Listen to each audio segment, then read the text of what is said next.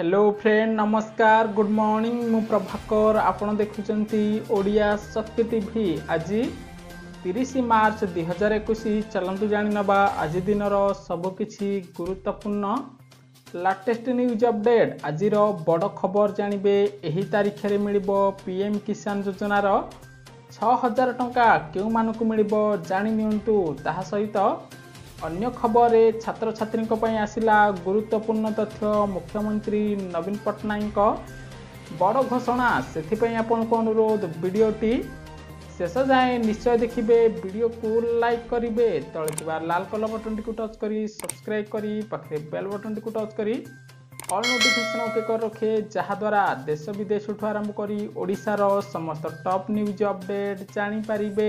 ପରବର୍ତ୍ତୀ ଖବର ସବୁ ସରକାରୀ ଅଫିସରେ ଉଡ଼ିବ। ଜାତୀୟ ପତାକା ସୂଚନା ଅନୁସାରେ ଆସନ୍ତା ପନ୍ଦର ଦିନ ମଧ୍ୟରେ ଜାମ୍ମୁ କାଶ୍ମୀରର ସମସ୍ତ ସରକାରୀ ଅଫିସରେ ଜାତୀୟ ପତାକା ଉଡ଼ିବ। ଜାମ୍ମୁ କାଶ୍ମୀରର ଉପରାଜ୍ୟପାଳ ମନୋଜ ସିହ୍ନା ସମସ୍ତ ଜିଲ୍ଲାପାଳଙ୍କୁ ଏହା ନିର୍ଦ୍ଦେଶ ଦେଇଥିବାର ସୂଚନା ଆସିଛି। ପରବର୍ତ୍ତୀ ଖବର ବାଇଶରୁ ବିପିୟୁଟ୍ର ଅଫଲାଇନ୍ ପରୀକ୍ଷା ସୂଚନା ଅନୁସାରେ ବିଜୁ ପଟ୍ଟନାୟକ ବୈଷୟିକ ବିଶ୍ୱବିଦ୍ୟାଳୟ ବିପିୟୁଟି ଦ୍ୱାରା ପରିଚାଳିତ ଇଞ୍ଜିନିୟରିଂ ପାଠ୍ୟକ୍ରମର ପ୍ରଥମ ଓ ତୃତୀୟ ସେମିଷ୍ଟାର ଅଫଲାଇନ୍ ପରୀକ୍ଷା ଆସନ୍ତା ବାଇଶ ଏପ୍ରିଲରୁ ଆରମ୍ଭ ହେବ ବୋଲି ସୂଚନା ଆସିଛି। ପରବର୍ତ୍ତୀ ଖବର କଟକରେ ହେବ।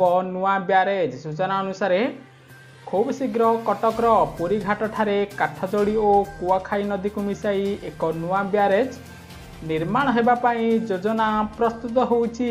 ଏନେଇ କଟକ ଜିଲ୍ଲାପାଳଙ୍କୁ ଭେଟି ଆଲୋଚନା କରିଛନ୍ତି ପୂର୍ବତନ ବିଧାୟକ ଦେବାଶିଷ ସାମନ୍ତରାୟ ବୋଲି ସୂଚନା ଆସିଛି। ପରବର୍ତ୍ତୀ ଖବର ସିଲ୍ ହେଲା କଲେଜ ଏକାଥରକେ ଛତିଶ ଛାତ୍ରଛାତ୍ରୀ କୋରୋନା ପଜିଟିଭ୍ ଚିହ୍ନଟ ହେଲେ। ସୂଚନା ଅନୁସାରେ ଘରୋଇ କଲେଜରୁ ଛତିଶ ପଜିଟିଭ୍ ଚିହ୍ନଟ ଘଟଣା ସିଲ୍ ହେଲା ଭବାନୀପାଟଣାର।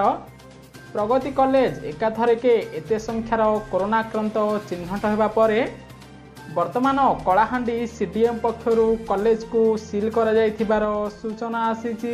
ଖବର ଓଡ଼ିଶାକୁ ଆସୁଛି। ଝଡ଼ ବାତ୍ୟା ବାରଟି ଜିଲ୍ଲାର ଜିଲ୍ଲାପାଳମାନଙ୍କୁ ସତର୍କ ରହିବାକୁ ନିର୍ଦ୍ଦେଶ ଦେଲେ ଏସ୍ଆର୍ସି। ସୂଚନା ଅନୁସାରେ ଓଡ଼ିଶାକୁ ଆସୁଛି ଝଡ଼ ବାତ୍ୟା ଏନେଇ ଆଜି ମୟୂରଭଞ୍ଜ ବାଲେଶ୍ୱର ଜିଲ୍ଲାପାଳମାନଙ୍କୁ ସତର୍କ କରାଯାଇଛି। ସେପଟେ ଆଜିଠାରୁ ତିନି ତାରିଖ ଯାଏଁ ରାଜ୍ୟର ବିଭିନ୍ନ ଜିଲ୍ଲାରେ ଝଡ଼ ବର୍ଷା ହେବ ବୋଲି ସୂଚନା ଆସିଛି। ପରବର୍ତ୍ତୀ ଖବର ଓଡ଼ିଶାରେ ଖରିଫ ଧାନ କିଣା ଅବଧି ଏପ୍ରିଲ ପନ୍ଦର ତାରିଖ ପର୍ଯ୍ୟନ୍ତ ବୃଦ୍ଧି ପାଇଁ ପିସିସି କିଷାନ କଂଗ୍ରେସର ରାଜ୍ୟ ସରକାରଙ୍କୁ ଦାବି କରାଯାଇଥିବାର ସୂଚନା ଆସିଛି। ପରବର୍ତ୍ତୀ ଖବର ଓଡ଼ିଶା ଜମିରେ ପଡ଼ୋଶୀର ଦାଦାଗିରି ସରକାରୀ ଜମି ଅକ୍ତିଆର କରୁଛନ୍ତି ଆନ୍ଧ୍ର ସୀମାନ୍ତବାସୀ। ସୂଚନା ଅନୁସାରେ ରାୟଗଡ଼ା ଜିଲ୍ଲାରେ ସୀମା ବିବାଦ ବନ୍ଦ ହେବାର ନାଁ ନେଉନାହିଁ ଓଡ଼ିଶା ଜମିରେ ଆନ୍ଧ୍ର ଲୋକେ ଦେଖାଉଥିବା ଦାଦାଗିରି ଏବେ ଚରମ ସୀମାରେ ପହଞ୍ଚିଥିବାର ସୂଚନା ଆସିଛି। ପରବର୍ତ୍ତୀ ଖବର ଆସିଲା କରୋନା ଭାଇରସ ବ୍ୟାପିବାର ମୁଖ୍ୟ କାରଣ। ସୂଚନା ଅନୁସାରେ ଯଦି ଆପଣଙ୍କ ମନରେ ପ୍ରଶ୍ନ ହେଉଛି କରୋନା ଭାଇରସ କେମିତି ଉତ୍ପତ୍ତି ହୋଇଛି ତାହାର ଅର୍ଥ ବୁଝାଇଛି ବିଶ୍ୱ ସ୍ୱାସ୍ଥ୍ୟ ସଂଗଠନ ସଂଗଠନ ପକ୍ଷରୁ କୁହାଯାଇଛି ଯେ ପ୍ରଥମେ କରୋନା ଭାଇରସ ବାଦୁଡ଼ି ଦେହରେ ଥିଲା ଫଳରେ ଅନ୍ୟ ପଶୁପକ୍ଷୀଙ୍କ ଜରିଆରେ ମନୁଷ୍ୟ ଶରୀରରେ ବ୍ୟାପିଥିବାର ସୂଚନା ଆସିଛି। ପରବର୍ତ୍ତୀ ଖବର ଜିଲ୍ଲାରେ ପଶିବା ପାଇଁ ଆବଶ୍ୟକ କୋଭିଡ ନେଗେଟିଭ ରିପୋର୍ଟ ସୂଚନା ଅନୁସାରେ ଜିଲ୍ଲା ବାହାରୁ ଆସୁଥିବା ଲୋକଙ୍କ ଉପରେ କଟକଣା ଲଗାଇଛି। ଗଞ୍ଜାମ ଜିଲ୍ଲା ପ୍ରଶାସନ ପ୍ରବାସୀଙ୍କୁ ଆସିବାକୁ ବାରଣ କରାଯାଇଛି। ଯଦି କେହି ଆସନ୍ତି ତାଙ୍କୁ ସଙ୍ଗରେ କୋଭିଡ ନେଗେଟିଭ ରିପୋର୍ଟ ଆଣିବାକୁ ପଡ଼ିବ ବୋଲି ଜିଲ୍ଲା ପ୍ରଶାସନ ନିଷ୍ପତ୍ତି ନେଇଛି।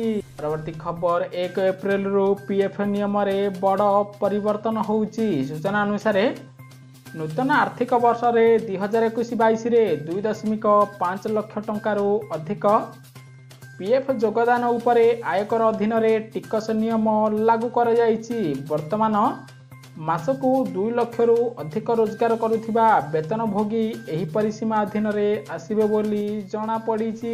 ପରବର୍ତ୍ତୀ ଖବର ଖୋର୍ଦ୍ଧା ରୋଡରୁ ନୟାଗଡ଼ ଟାଉନକୁ ଗଡ଼ିଲା ସ୍ପେଶାଲ ଇଲେକ୍ଟ୍ରିକ୍ ଟ୍ରେନ୍। ପରୀକ୍ଷାମୂଳକ ଭାବେ ଏହାକୁ ଚାଲୁ କରାଯାଇଥିବାର ସୂଚନା ଆସିଛି। ପରବର୍ତ୍ତୀ ଖବର ରାସ୍ତାରେ ଗଡ଼ୁଛି ଚାରି କୋଟିରୁ ଅଧିକ ପୁରୁଣା ଗାଡ଼ି ମୋଟର। ସୂଚନା ଅନୁସାରେ ବାୟୁ ପ୍ରଦୂଷଣ ନେଇ ସରକାରଙ୍କ ପକ୍ଷରୁ ପଦକ୍ଷେପ ଗ୍ରହଣ କରାଯାଇଛି। ପନ୍ଦର ବର୍ଷରୁ ଅଧିକ ପୁରାତନ ଗାଡ଼ି ମୋଟର ଚଳାଚଳ ଉପରେ କଟକଣା ପାଇଁ ଯୋଜନା ପ୍ରସ୍ତୁତ କରାଯାଉଛି। ଏପରି ସ୍ଥଳେ ରାଜପଥ ଓ ସଡ଼କ ପରିବହନ ମନ୍ତ୍ରାଳୟ ପକ୍ଷରୁ ରିପୋର୍ଟ ପ୍ରକାଶ କରାଯାଇଛି ଯେ ବର୍ତ୍ତମାନ ଦେଶରେ ଚାରି କୋଟିରୁ ଅଧିକ ପୁରୁଣା ଗାଡ଼ି ରାଜରାସ୍ତାରେ ଗଡ଼ୁଥିବାର ସୂଚନା ଆସିଛି। ଖବର ପାକିସ୍ତାନରେ କରୋନା ସଂକ୍ରମଣ ବୃଦ୍ଧି ହେବା ପରେ ଲକଡାଉନ ହେଲା ପାକିସ୍ତାନ। ସୂଚନା ଅନୁସାରେ ପାକିସ୍ତାନରେ କରୋନା ସଂକ୍ରମିତ ସଂଖ୍ୟା ବଢ଼ିବାରେ ଲାଗିଛି। ସ୍ଥିତି ଅଣାୟତ ହୋଇଥିବାରୁ ଦେଖି ଇସଲାମାବାଦର କିଛି ସ୍ଥାନରେ ଆଂଶିକ ଲକଡାଉନ କରିଛନ୍ତି ପାକିସ୍ତାନ ସରକାର। ସେପଟେ ପାକିସ୍ତାନର ରାଷ୍ଟ୍ରପତି କରୋନା ସଂକ୍ରମିତ ଚିହ୍ନଟ ହୋଇଥିବାର ସୂଚନା ମିଳିଛି। ପରବର୍ତ୍ତୀ ଖବର ଆଜି ନାମାଙ୍କନର ଶେଷ ଦିନ ବୁଧବାର ଠାରୁ ଜମିବ ପ୍ରଚାର। ସୂଚନା ଅନୁସାରେ ପିପିଲ ଉପନିର୍ବାଚନ ପାଇଁ ତିନି ପ୍ରମୁଖ ଦଳ ବିଜେପି ବିଜେଡି ଓ କଂଗ୍ରେସ ପ୍ରାର୍ଥୀଙ୍କ ନାମ ଘୋଷଣା କରିଛି। ସେଥିମଧ୍ୟରୁ ବିଜେପି ପ୍ରାର୍ଥୀ ନାମାଙ୍କନ ଦାଖଲ କରିସାରିଥିବା ବେଳେ ଆଜି ବିଜେଡି କଂଗ୍ରେସ ପ୍ରାର୍ଥୀ ନାମାଙ୍କନ ଦାଖଲ କରିବ ସେପଟେ। ବୁଧବାର ଠାରୁ ନିର୍ବାଚନ ପ୍ରଚାର ଜୋରଦାର ହେବ ବୋଲି ଜଣାପଡ଼ିଛି। ପରବର୍ତ୍ତୀ ଖବର ଘାରୁଛି ବେପାର ଚିନ୍ତା ଟମାଟୋ କିଲୋ ଏକ ଟଙ୍କା। ସୂଚନା ଅନୁସାରେ ଭଦ୍ରକ ଜିଲ୍ଲା ବାସୁଦେବପୁର ବ୍ଲକର ପରିବା ଚାଷୀଙ୍କୁ ଘାରିଛି ବେପାର ଚିନ୍ତା। ଫସଲ ସିନା ଭଲ ହୋଇଛି କିନ୍ତୁ ବିକ୍ରି ବାଟା ହୋଇପାରୁନଥିବାରୁ ନଷ୍ଟ ହେବାରେ ଲାଗିଛି। ଟମାଟୋ ସେଥିପାଇଁ ଏକ ଟଙ୍କାରେ ଟମାଟୋ କିଲୋ ବିକ୍ରୟ କରୁଥିବାର ସୂଚନା ଆସିଛି। ପରବର୍ତ୍ତୀ ଖବର ଭାରତ ପାକିସ୍ତାନ ମଧ୍ୟରେ ସକାରାତ୍ମକ ଯୋଗାଯୋଗକୁ ଚୀନର ସ୍ୱାଗତ। ସୂଚନା ଅନୁସାରେ ଭାରତ ପାକିସ୍ତାନ ମଧ୍ୟରେ ଯୁଦ୍ଧବିରତି ପାଳନ କରାଯାଉଥିବାରୁ ଦୁଇ ଦେଶ ମଧ୍ୟରେ ଶାନ୍ତି ପାଇଁ ଯୋଗାଯୋଗ ଆରମ୍ଭ ହୋଇଥିବାରୁ ତାହାକୁ ସ୍ୱାଗତ କରିଛି ଚୀନ ବୋଲି ସୂଚନା ଆସିଛି। ପରବର୍ତ୍ତୀ ଖବର ମେସେଜ ନିୟମକୁ ପରିବର୍ତ୍ତନ କଲା ଟ୍ରାଇ ଏକ ଏପ୍ରିଲରୁ ନୂଆ ନିୟମ ଲାଗୁ ହେବ। ସୂଚନା ଅନୁସାରେ ଦୂରସଞ୍ଚାର ନିୟାମକ ଟ୍ରାଇ ମେସେଜ ନିୟମରେ ପରିବର୍ତ୍ତନ କରିବାକୁ ଯାଉଛି।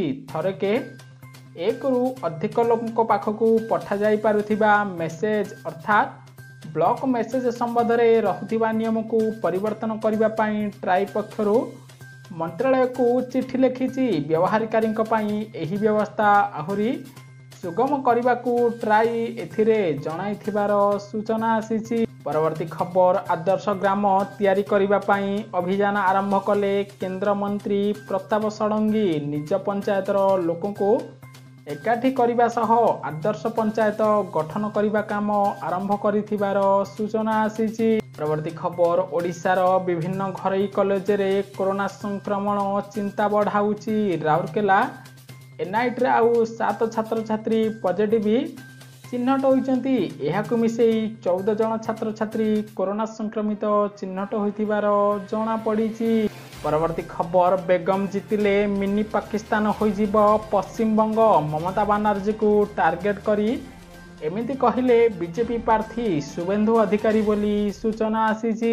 ପରବର୍ତ୍ତୀ ଖବର କରୋନା ପାଇଁ ବନ୍ଦ ହେବନି ଓଡ଼ିଶାରେ ନବମ ଓ ଏକାଦଶ ପାଠପଢ଼ା ଗଣଶିକ୍ଷା ମନ୍ତ୍ରୀ ଦେଲେ ବଡ଼ ଅପଡେଟ୍। ସୂଚନା ଅନୁସାରେ ରାଜ୍ୟରେ କରୋନା ପୁଣି ଥରେ ବଢ଼ିବାରେ ଲାଗିଛି। ବର୍ଦ୍ଧିତ ସଂକ୍ରମଣକୁ ନେଇ ରାଜ୍ୟରେ ସରକାରୀ ସ୍କୁଲ ବନ୍ଦ ହେବା ନେଇ ଯେଉଁ ଚର୍ଚ୍ଚା ଥିଲା ତାହା ଉପରେ ପୂର୍ଣ୍ଣଚ୍ଛେଦ ପକାଇଛନ୍ତି ସ୍କୁଲ ଗଣଶିକ୍ଷା ମନ୍ତ୍ରୀ ସମୀର ରଞ୍ଜନ ଦାସ କହିଛନ୍ତି ଯେ ଏବେ ବନ୍ଦ ହେବନି ଓଡ଼ିଶାରେ ନବମ ଏକାଦଶ ଛାତ୍ରଛାତ୍ରୀଙ୍କର ପାଠପଢ଼ା ବୋଲି ତଥ୍ୟ ଦେଇଛନ୍ତି। ପରବର୍ତ୍ତୀ ଖବର ହୋଲିରେ ବିଭିନ୍ନ ସ୍ଥାନରେ ଅଘଟଣ ଦୁର୍ଘଟଣାରେ ଗଲା ଛଅ ଜଣଙ୍କ ଜୀବନ। ସମ୍ବଲପୁର ଓ ଢେଙ୍କାନାଳରେ ସଡ଼କ ଦୁର୍ଘଟଣାରେ ପାଞ୍ଚ ଜଣଙ୍କର ମୃତ୍ୟୁ ହୋଇଥିବାର ସୂଚନା ଆସିଛି ପରବର୍ତ୍ତୀ ଖବର କରୋନା ଟିକା ନେବା ପରେ ରୁଷର ରାଷ୍ଟ୍ରପତି ଭ୍ଲାଦିମିର ପୁତିନଙ୍କ ଶରୀରରେ ପାର୍ଶ୍ୱ ପ୍ରତିକ୍ରିୟା ଦେଖାଦେଇଥିବାର ଜଣାପଡ଼ିଛି ସେ ମାର୍ଚ୍ଚ ତେଇଶ ତାରିଖରେ କରୋନା ଟିକା ନେଇଥିଲେ କିନ୍ତୁ ତାଙ୍କ ଶରୀରରେ ପାର୍ଶ୍ୱ ପ୍ରତିକ୍ରିୟା ଦେଖାଯାଇଥିବାର ସୂଚନା ଆସିଛି ପରବର୍ତ୍ତୀ ଖବର ଡିଏମ୍କେ ସରକାର ଗଠନ କଲେ ତାମିଲନାଡୁରେ ଲାଗୁ ହେବାକୁ ଦେବୁନାହିଁ ସିଏ ଓ କୃଷି ଆଇନ ବୋଲି ଏମ୍ କେ ଷ୍ଟାଲିନ ଅପଡେଟ୍ ଦେଇଛନ୍ତି ପରବର୍ତ୍ତୀ ଖବର ହଟିଲା ସୁଏଜ କେନାଲରେ ଫସିଥିବା ବିଶାଳ ଜାହାଜ ସପ୍ତାହର ଅପରେସନ ପରେ ଏଭର ଇଭେନ୍ ହଟିବା ନେଇ ଜାତୀୟ ଗଣମାଧ୍ୟମରୁ ସୂଚନା ମିଳିଛି ପରବର୍ତ୍ତୀ ଖବର କେନ୍ଦ୍ର ସ୍ୱାସ୍ଥ୍ୟ ମନ୍ତ୍ରାଳୟ ଦେଲା ବଡ଼ ଅପଡେଟ୍ ଦେଶର ଆଠଟି ରାଜ୍ୟରେ ବୋଲ ମାନୁନାହିଁ କରୋନା ଚିହ୍ନଟ ହେଉଛନ୍ତି ଚଉରାଶୀ ପ୍ରତିଶତରୁ ଅଧିକ ସଂକ୍ରମିତ ବୋଲି ସୂଚନା ଆସିଛି। ପରବର୍ତ୍ତୀ ଖବର ଖରାପ ପାଣିପାଗ ଭାଙ୍ଗି ପାରିନାହିଁ କଙ୍ଗନା ରାନତଙ୍କ ମନୋବଳ। ପଚାଶ ଡିଗ୍ରୀ ତାପମାତ୍ରାରେ ତେଜସର ସୁଟିଂ ପାଇଁ ପ୍ରସ୍ତୁତ ରହିଥିବାର ସୂଚନା ଆସିଛି। ଖବର ଆଜି ପୁଣି ଓଡ଼ିଶାରୁ ଶହେ ଅଠର ଜଣ କରୋନା ଆକ୍ରାନ୍ତରୁ ଆରୋଗ୍ୟ ଲାଭ କରି ଘରକୁ ଫେରିଛନ୍ତି। ଏହାକୁ ମିଶାଇ ଓଡ଼ିଶାରେ ମୋଟ ସୁସ୍ଥ ସଂଖ୍ୟା ତିନି ଲକ୍ଷ ଛତିଶ ହଜାର ଆଠଶହ ନଅରେ ପହଞ୍ଚିଥିବାର ସୂଚନା ଆସିଛି। ପରବର୍ତ୍ତୀ ଖବର ମାସେ ହେଲା ଜଳ ଯୋଗାଣ ପ୍ରକଳ୍ପ ଅଚଳ ପାଣି ପାଇଁ ଲୋକେ ହେଉଛନ୍ତି ହନ୍ତସନ୍ତ। ସରକାରଙ୍କ ଯୋଜନା ମାରୁଛି ଫେଲ୍। ସୂଚନା ଅନୁସାରେ ଲୋକଙ୍କ ପାଖରେ ପାନୀୟ ଜଳ ପହଞ୍ଚାଇବା ପାଇଁ କେନ୍ଦ୍ର ଓ ରାଜ୍ୟ ସରକାର ଦେଶଠୁ ଆରମ୍ଭ କରି ଓଡ଼ିଶାରେ କୋଟି କୋଟି ଟଙ୍କା ଖର୍ଚ୍ଚ କରୁଥିଲେ ମଧ୍ୟ ଏହାର ସିଧାସଳଖ ବେନିଫିଟ୍ ଲୋକଙ୍କ ପାଖରେ ପହଞ୍ଚି ପାରୁନି କାରଣ ଫଗୁଣ ଯାଇନି। ତଥାପି ଅନେକ ସ୍ଥାନରେ ଜଳ ସଙ୍କଟ ଉଗ୍ର ରୂପ ନେଲାଣି। ଏପଟେ ବଲାଙ୍ଗୀର ଜିଲ୍ଲା ବଙ୍ଗେଇମୁଣ୍ଡା ବ୍ଲକ ସୀମାନ୍ତ ତଥା କଭିଲିଭଟା ପଞ୍ଚାୟତରେ ବର୍ତ୍ତମାନ ଜଳ ପାଣି ଅଭାବ ଥିବାରୁ ଏକ ମାସ ହେଲାଣି ଲୋକମାନେ ହନ୍ତସନ୍ତ ହୋଇଥିବାର ସୂଚନା ଆସିଛି ପରବର୍ତ୍ତୀ ଖବର ସରିଲା ହୋଲି ଚାଷୀ ଭାଇଙ୍କ ଖାତାକୁ ପିଏମ୍ କିଷାନ ଯୋଜନାର ଟଙ୍କା ପଠାଇବେ ସରକାର ସୂଚନା ଅନୁସାରେ ଯଦି ଆପଣ ଜଣେ ଚାଷୀ ଭାଇ ତାହେଲେ ଆପଣଙ୍କ ପାଇଁ ଖୁସି ଖବର କାରଣ ଏକ ଏପ୍ରିଲ ଭିତରେ ଚାଷୀ ଭାଇଙ୍କ ଖାତାକୁ ଟଙ୍କା ଆସିଯିବ। ଆପଣ ଜାଣିଛନ୍ତି ପିଏମ୍ କିଷାନ ଯୋଜନାରେ ପ୍ରଧାନମନ୍ତ୍ରୀ ନରେନ୍ଦ୍ର ମୋଦି ଚାଷୀ ଭାଇଙ୍କ ଆକାଉଣ୍ଟକୁ ବାର୍ଷିକ ଛଅ ହଜାର ଟଙ୍କା ପଠାଉଛନ୍ତି। ବର୍ତ୍ତମାନ ତିନିରୁ ଚାରି ଦିନ ଭିତରେ ପିଏମ୍ କିଷାନ ଯୋଜନାର ଅଷ୍ଟମ କିସ୍ତିର ଟଙ୍କା ମିଳିପାରିବ। ଏଥିରେ ଆପଣଙ୍କୁ ମିଳିବ କି ନାହିଁ ଆପଣ କେମିତି ଜାଣିବେ? ଯଦି ଆପଣଙ୍କୁ ପିଏମ୍ କିଷାନ ଯୋଜନାରେ ପୂର୍ବରୁ ଟଙ୍କା ମିଳିଛି ଦୁଇ ହଜାର ଟଙ୍କା ତାହେଲେ ବର୍ତ୍ତମାନ ଆପଣଙ୍କୁ ଅଷ୍ଟମ କିସ୍ତିର ଟଙ୍କା ମିଳିପାରିବ ବୋଲି ସୂଚନା ଆସିଛି ପରବର୍ତ୍ତୀ ଖବର ଯାଜପୁର ରୋଡ ଗ୍ରୀନ୍ ମାର୍କେଟରେ ଭୟାବହ ଅଗ୍ନିକାଣ୍ଡ। ଜଳିଗଲା ଦୁଇଟି ଗୋଦାମ ଘର ଟ୍ରାକ୍ଟର ଓ ପିକଅପ୍ ଗାଡ଼ି ବୋଲି ସୂଚନା ଆସିଛି। ସମ୍ପୂର୍ଣ୍ଣ ଦେଖିଥିବାରୁ ଆପଣଙ୍କୁ ଅଶେଷ ଅଶେଷ ଧନ୍ୟବାଦ। ଭିଡ଼ିଓକୁ ଲାଇକ୍ କରି ସେୟାର କରିବେ ସମସ୍ତେ। ଆଜି ଦିନର ମୁଖ୍ୟ ଖବର ଜାଣିପାରିବେ।